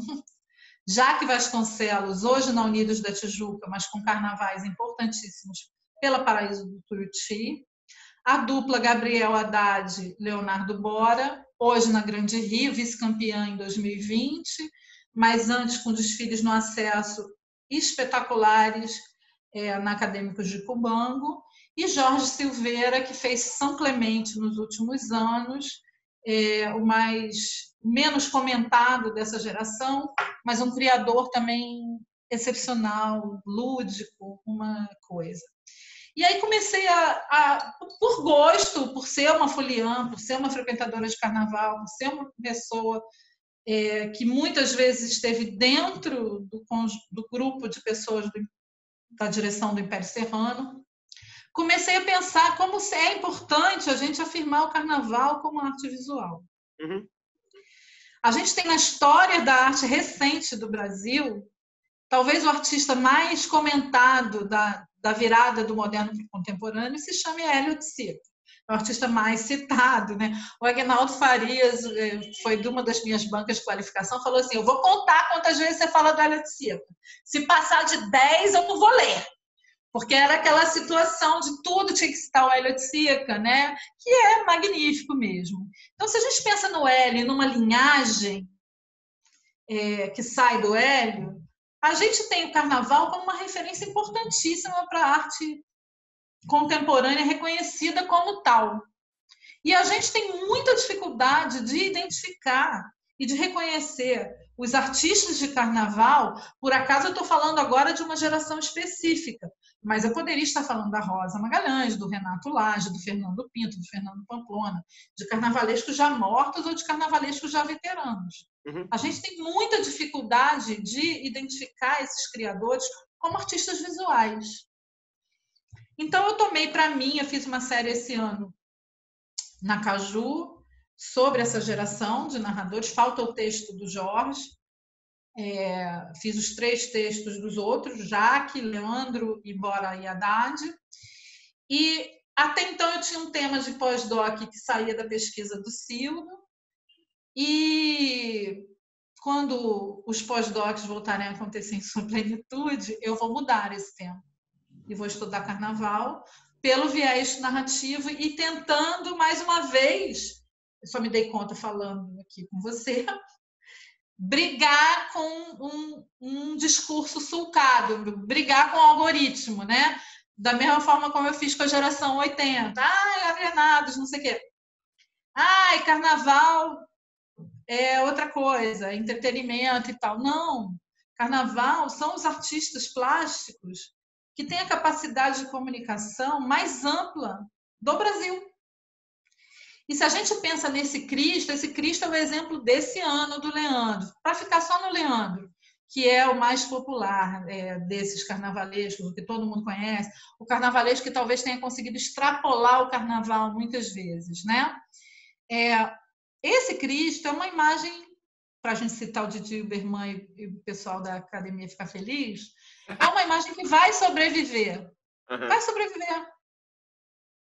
É uma imagem que já sobreviveu, já gerou o mundo e que continuará sendo citada. A bandeira verde-rosa que o Leandro faz no Carnaval de 2019, Índios, Negros e Pobres, é, e os bandeirões com Jamelão, Marielle, Carolina Maria de Jesus. Aquilo é uma imagem para durar. A imagem da Esquel, porta-bandeira da Mangueira, raspada, quer dizer, simulando a cabeça raspada, como uma Ialorixá, no, no, no desfile da Betânia. Quanta coisa linda, quanto Caribé, quanto Pierre Verger tem nessa imagem, igual teria numa obra de um artista reconhecido como artista contemporâneo que citasse esses, esses esses artistas e fotógrafos, enfim. Sim. Então a Skel, ela, a, a única diferença da Skel para um artista, por exemplo, como Ayrton Heráclito, para falar de um artista que nós dois, eu sei, admiramos muito, é, a única diferença é que a Esquel está passando na Sapucaí. E o Ayrton Heráclito apresenta o trabalho dele num circuito chancelado. Né? Então, assim, é, eu acho que é muito importante essa fonte tão infinita de inspiração para a arte contemporânea reconhecida como tal, que é o carnaval, ser também ter também o seu reconhecimento como fonte primária Sim. de arte contemporânea. Vou passar a imagem, posso? Tá, pode.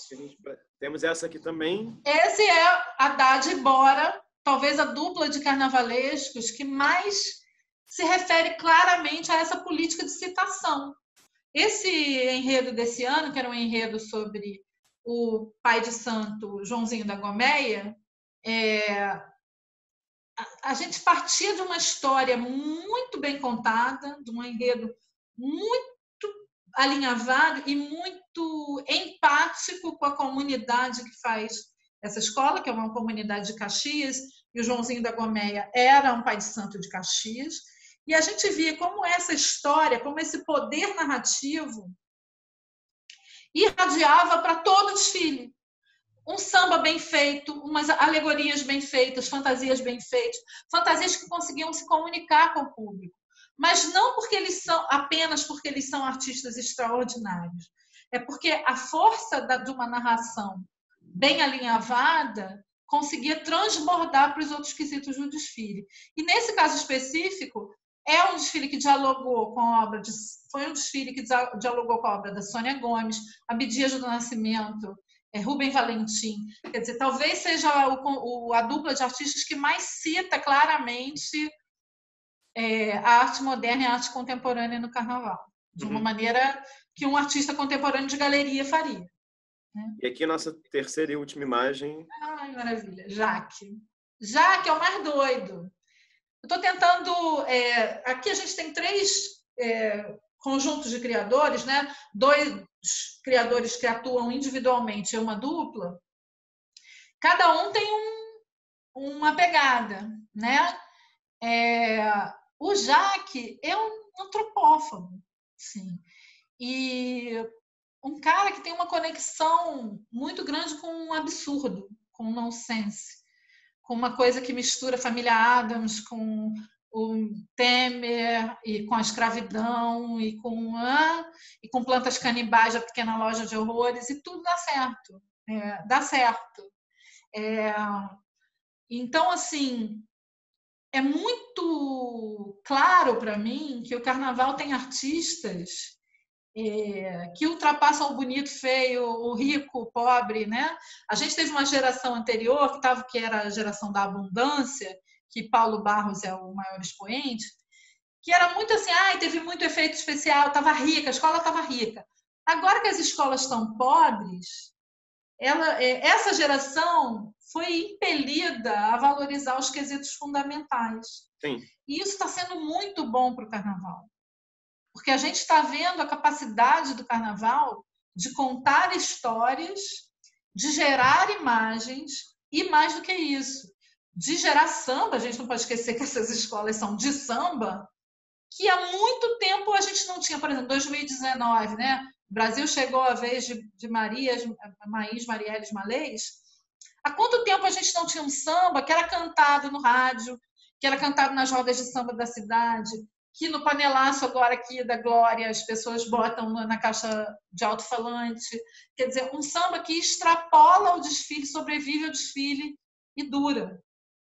Então, assim, a gente está falando de um, uma arte, talvez a plataforma de arte mais importante do Brasil, que está num momento de profunda crise, é, reafirmando sua capacidade geradora sim, de criação, sim. sabe? Eu sim, acho que é um momento muito importante. Não, super interessante, assim. Adorei você ter escolhido três imagens do carnaval. E eu fico pensando também, vou isso, voltar aqui, eu fico pensando também é, antes de fazer a, a, pergunta surpresa, digamos, que tem algo muito interessante nesse seu interesse, que é o interesse na narração, no lugar dos narradores e na narrativa também, seja lá nas obras do Cildo, seja também como a história da arte narra uhum. a geração 80, uhum. seja numa narrativa que uma escola de samba propõe, porque né, é a figura do carnavalesco como Odisseia, um artista, né? como quase que um maestro, né? Assim, de, uhum. dessa obra de arte total, digamos assim, né? Como Wagner falava, de certa maneira, né? Então, isso é muito bacana. E aí, acho que vai mais uma vez de encontro a isso que a gente falou no começo, que é essa sua visão mais generosa de pensar o conhecimento, né? Porque acho que talvez o é. carnaval, com esse apelo extremamente popular, né? Assim, uma coisa que todo mundo, gostando ou não, acaba vendo, opinando, cria-se uma expectativa de qual escola ganha. Então, tem, tem uma uhum. relação com a massa que eu acho que vai de conta a sua própria trajetória, né? Essa relação com as grandes mídias, com o jornal, com o texto, uhum. com a escrita, uhum. enfim. Estou aqui te terapeutizando de leve, mas eu com acho a turba, que... com a turba. A turba, exatamente. Essa imagem da turba é uma boa imagem, né? É. Dani, é, para a gente terminar... Surpresa é agora? Ai, é agora. Não, não, não fica com medo, não. É porque o que acontece? Eu fiz para parte das pessoas que eu entrevistei até agora uma mesma pergunta mas como o primeiro vídeo foi pro ar já, eu vou mudar a pergunta contigo. Tá, Você vai tá ser a primeira pessoa que eu mudo a pergunta.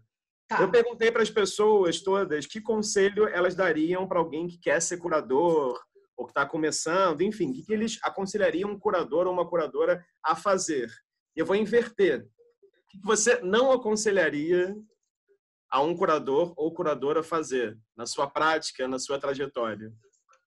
Achar que ele é mais importante que o artista nós estamos, isso é um exercício diário de humildade, de nós somos criadores. Eu sou criadora do meu texto, eu sou criadora dos meus projetos. Eu me considero uma criadora, uma narradora também. Mas eu estou a serviço de um narrador que é mais importante que eu, de um criador que é mais importante que eu, que é o artista. Sem ele, não tem o que eu faço. Eu não posso, assim, né? mesmo que ele já esteja morto, né? Agora eu estou dando um, um, curso lá na plataforma da Caju sobre o livro do Craig, falando do Manet, do Serra, não sei o quê. Mesmo que ele já esteja morto, como Serra, muito morto, né? Porque viveu só 31 anos naquela época, eu tenho que escutar esse artista, né? De alguma maneira. Então, por exemplo, um artista que sempre me comoveu muito foi sempre foi o Turner. Na primeira oportunidade que eu tive, é, eu fui a Tate olhar os caderninhos do Turner. Eu fui a Tate é, olhar o exemplar do Turner é, da teoria das cores do Goethe, que ele escreve do lado assim, logo se vê que esse cara não é um artista. Ele faz comentários hilários. Na, e aí e virei uma obsessiva no Turner, assim, porque ele me comove, e eu acho que ele está me dizendo coisas, e eu resolvi ouvi-lo, em vez de ficar só repetindo, tentar ouvi-lo, qual era a maneira, e nos, nos acervos.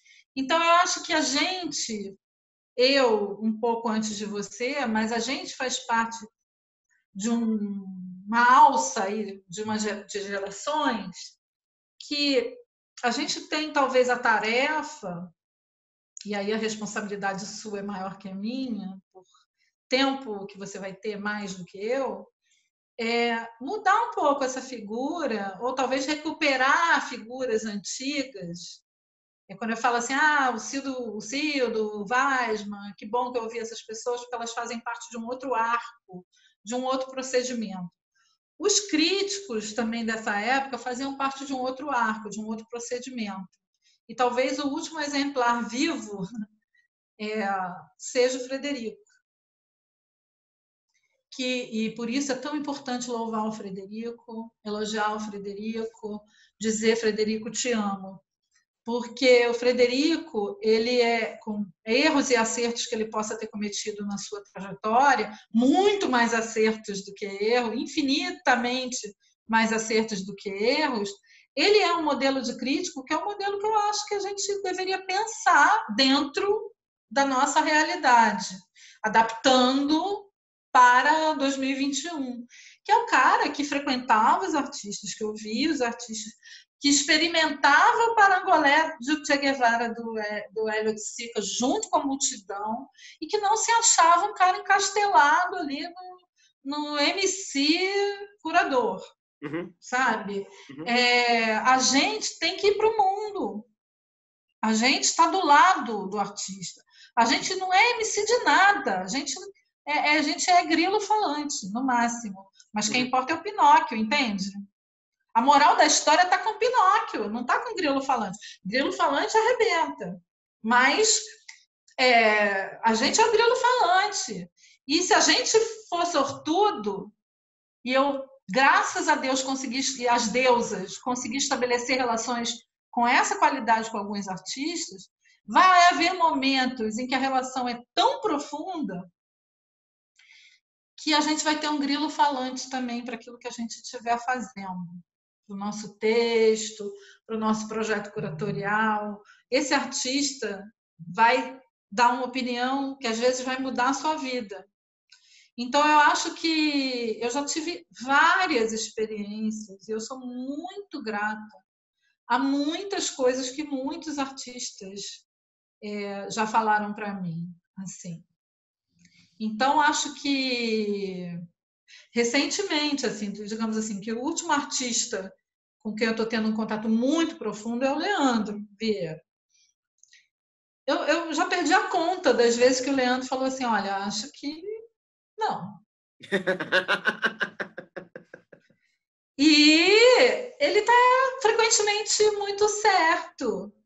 E é muito bom quando a gente é, consegue estabelecer esse eu acho que não, de um lado e de outro, é, sem achar assim que é natural assim a gente pode ter que fazer isso também por um processo de necessidade e indigência geral mas sem achar que a gente convidar o artista para um projeto curatorial já é o bastante que ele não tem que receber. Às vezes vai acontecer mas a gente tem que ter ao menos um constrangimento. Sim entende a gente tem que explicar a gente tem que demonstrar a gente tem que sabe, é, a gente, eu acho que está muito na hora, assim, da gente mudar esse jogo. É, como então, você assim, fala... eu diria, eu diria, nunca deixe de ouvir o artista, nunca deixe de visitar o artista. Bom, se ele morar no Acre, faz agora. A gente descobriu o Zoom, né? O StreamYard, o... tem tantas salas de bate-papo, Web Project, sei lá. Faz, visita o cara de outra maneira mas esteja do lado do artista, né? O que diz o Mário Pedrosa, num momento de crise, fica do lado do artista. Então, se é para inverter, no momento de crise, nunca deixe de estar do lado do artista. É, né? na entrevista que você deu para o Prêmio Pipa em 2011, você fala essa frase, né? O curador é uma figura comprometida com os artistas, né? É. É... Não precisa ser comprometida com uma ideia, com um grupo, Sim. Entende? Não é isso. Com o tipo de plataforma de suporte. Eu gosto de tudo. Eu gosto de vídeo, eu gosto de performance, eu gosto de escultura, eu gosto de trabalho bom. Então não precisa ser comprometido com um determinado grupo esteticamente falando. Uhum. Mas sim, eu acho sim, que a gente humanamente tem que ser comprometido com o artista. Sim. Ótimo. Dani, te agradeço um monte. Obrigada. Pelo, tempo, pelo interesse, foi ótimo. E Fico muito curioso de ver suas futuras pesquisas sobre carnaval e até pensar esse desafio, que acho que é um grande desafio, né? De como, uhum. por exemplo, é, entre largas aspas, curatorializar ou pensar, sei lá, não só uma exposição, mas projetos curatoriais que envolvam algo que se concentra num desfile de, de pouco uhum. mais de uma hora, né? Assim, então, é. isso acho que isso é um então, grande... eu não sei essa resposta, mas eu sei que o Elliot Sick, em 1967, ah. no catálogo da nova objetividade brasileira, já falava que a gente precisava falar com essa multidão e que no carnaval e nas artes populares estava uma resposta para tudo. E recentemente eu reli esse texto e fiquei pensando, caramba, a gente não leu o Hélio Cico direito. Assim, acho que a gente tem que ler. Tem que ler.